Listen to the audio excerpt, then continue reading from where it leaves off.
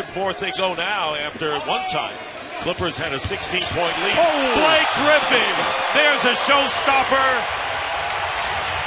And the crowd loving it here at the Staples Center. This is an entertaining team, to say the And least. Dick, that's his game. Turn and face. He's not a back to the basket guy. When he gets